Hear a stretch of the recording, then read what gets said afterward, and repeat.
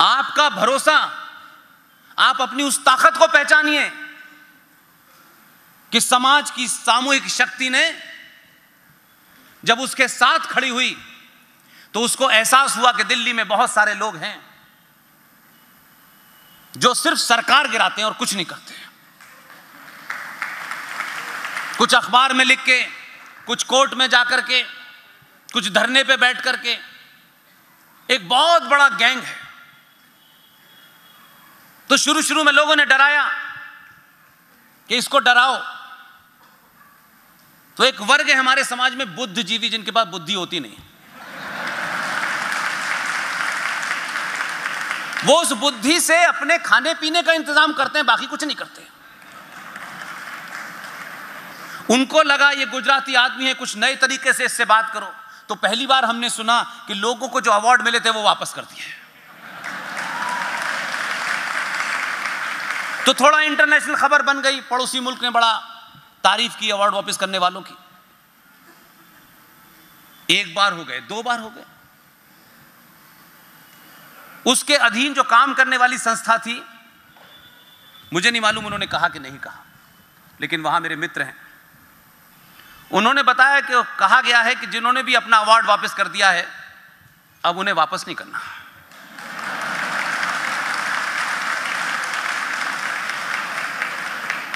बचे कुछ अवार्ड वाले फिर आए। लेकिन पिछले पाँच साल से जिन्हें अवार्ड वापस करने का शौक था, अब अवार्ड है ही नहीं उनके पास।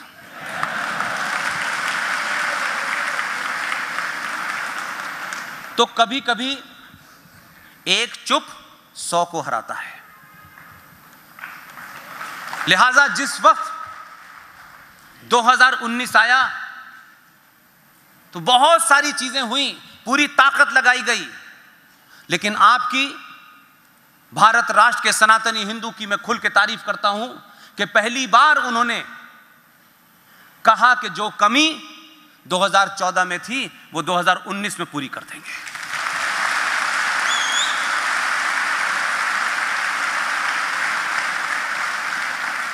इसलिए जिसको अकेला समझ के लोग अवार्ड वापस कर रहे थे बार बार धमकाते थे गुजरातियों को पता लगा अकेला काम नहीं कर पाए, दूसरा भी भेजो।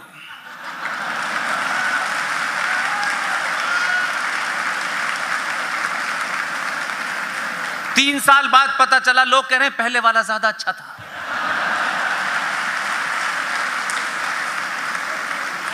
तो ये जो बदलाव है, इससे कोई राजनीतिक सत्ता बदली हो, ये एक तरफ़ है। लेकिन समाज की सामूहिक शक्ति जब उसकी सोच बदलती है जब उसके एजेंडे में जीएसटी का कुछ कम कर दो और इनकम टैक्स कुछ कम कर दो, टमाटर के भाव और प्याज के भाव पे जब समाज से आगे निकल जाता है तो 2019 भी पैदा होता है और 2019 पैदा होता है तो सत्ता में बैठने वाले लोगों के ऊपर 90 करोड़ सनातनी हिंदू का दबाव होता है। इसलिए राम मंदिर का फैसला भी आता है 370 भी हटते हैं।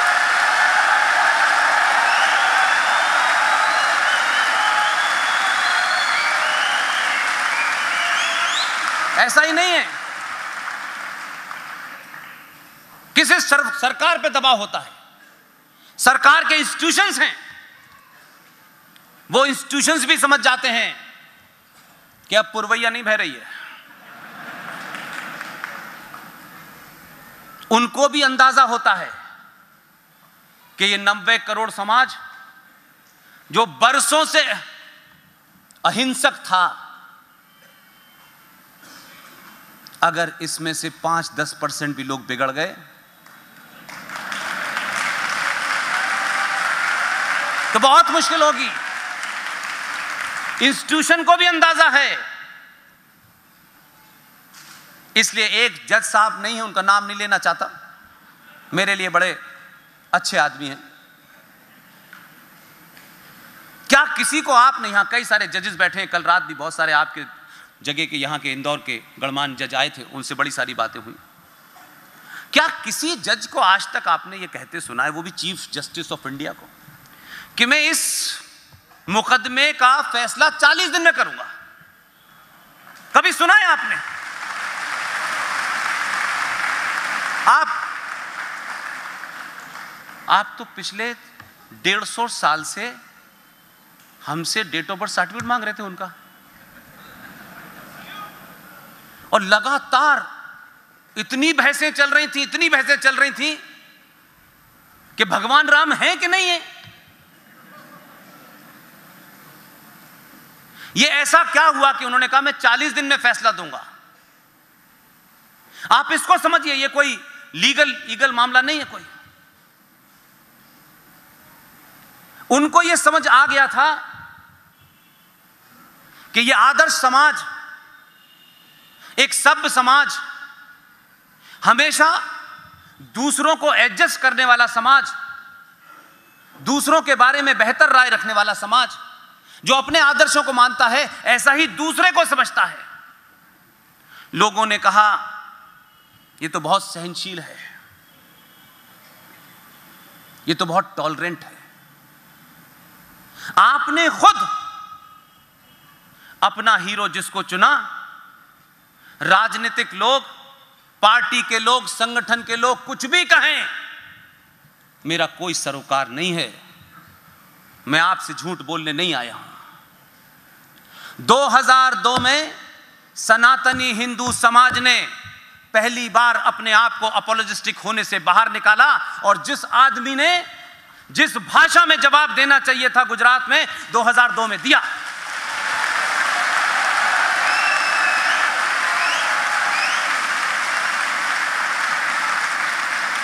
उसमें टेक्निकल चीज़ें क्या है, मैं उस पर जाना नहीं चाहता।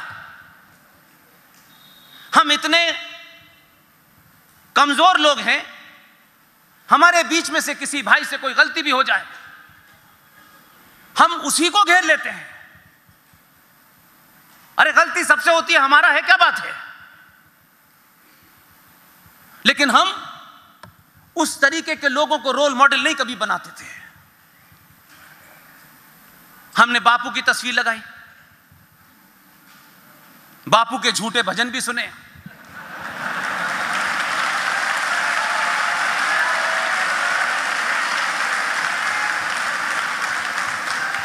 ये कोई बापू की शान में गुस्ताखी नहीं है। ये वो देश है जहाँ राम पे चर्चा होती है, सीता पे चर्चा होती है। तो क्या गांधी जी उससे भी बढ़े क्या?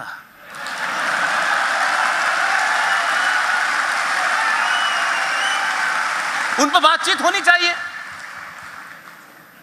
ये कैसे होता जैसे उन पर बात, गॉड से के लोग आ गए, गॉड हाँ भैया, हम गॉड से के लोग क्या करोगे?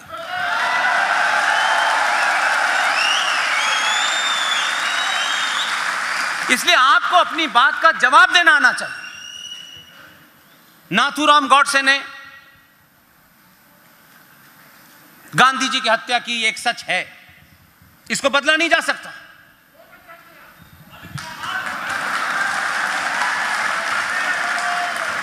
मैं आपसे जो बात कहना चाहता हूँ, उसे आप अपनी बात को तथ्यों पे, तर्कों पे रखेंगे।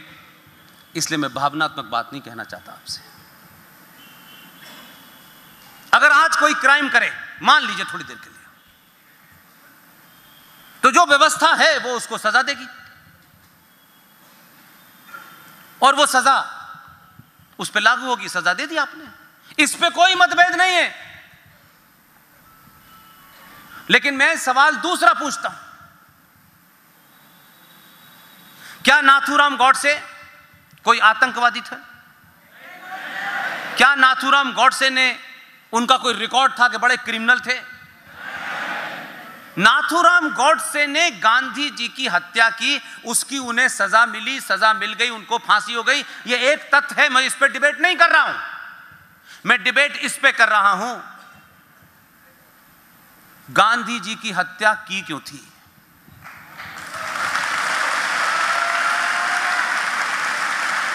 आप उस मनोदशा को समझने की कोशिश कीजिए। अगर इस दुनिया में गांधी जी का सबसे बड़ा कोई भक्त था तो वो नाथुराम गौडसे था। मैं तथ्यों में क्या बात कह रहा हूँ? मैं इमोशनल बात नहीं करता। मेरे बुज़ुर्ग जो हैं राजनीति में कुछ लोग होंगे। हमारे घर परिवार में एक बार पिता अगर यह कह दे कि तुम सुरक्षित हो, तुम्हें किसी से डरने की ज़रूरत नहीं है। इस घर में अगर कोई आतंकवादी घुसेगा तो मेरी लाश पे घुसेगा। पूरा परिवार यह सोच के उस पर भरोसा करता है कि मेरे पिता ने मुझे यह भरोसा दिलाया है। सवाल नहीं पूछता उससे। नाथूराम गौडसे का भी ऐसा भरोसा गांधी जी के ऊपर था। मेरा दूसरा सवाल है। गांधी जी का किसी बात पे मतभेद हुआ बी आर अंबेडकर साहब से? कोई दलितों के अलग वोट की मांग की बात थी। मेरा इशू इंपॉर्टेंट नहीं है। अंबेडकर साहब से मतभेद हुआ, गांधी जी चले गए। बोले, तुम अपनी बात वापस ले लो। उसने कहा, गांधी जी, बात मेरी सही है और आप राष्ट्र के लिए इंपॉर्टेंट हैं, इसलिए मैं अपनी बात वापस ले रहा हूँ, क्योंकि गांधी जी बीच बीच में धरने की बहुत धमकी देते थे। उस आदमी का बड़प्पन देखिए, जिसकी कल पुण्यतिथि है। उस आदमी ने चूचा नहीं की। उन्होंने कहा, ठीक है, आप मानते हैं। मैं वापस ले लेता हूँ। ये सुभाष चंद्र बोस जिनके बारे में आपने लिखा है, तुम मुझे खून दो, मैं तुम्हें आज़ादी दूँगा।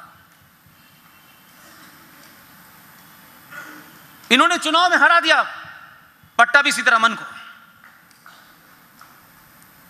गांधी जी इनके पास भी पहुँच गए। तुम इस्तीफा दे दो।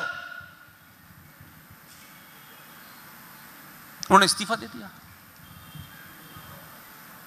उनको लगने लगा कि मैं अपनी पोजीशन, अपने उस बड़पन होने का फ़ायदा उठाता रहूँगा। लेकिन गांधी ने कोई तस्वीर, कोई ऐसी चीज़ मुझे बताएँ, कोई घटना बताएँ, कहीं मिल जाए दुनिया भर में तो मुझे दें। जब नेहरू ने कांग्रेस के बिना अनुमति के भारत के पार्टीशन पे साइन कर लिए थे। तो गांधी जी लगातार एक बात कहते थे। पार्टीशन होगा तो मेरी लाश पे होगा। इसका मतलब है कि गांधी जी को यह भनक थी कि पार्टीशन हो सकता है। और गांधी जी कोई छोटे मोटे लीडर नहीं थे। तो गांधी जी को जब पता भी चल गया था तो नेहरू के सामने या जिना के सामने कहीं उन्होंने धमकी दी कि मैं धरने पर बैठ जाऊँगा, लेकिन पार्टीशन नहीं होने दूँगा। एक कोई घटना मिलती हो तो बताएँ, बहुत इतिहासकार हैं, झूठे सच्चे जैसे भी हैं।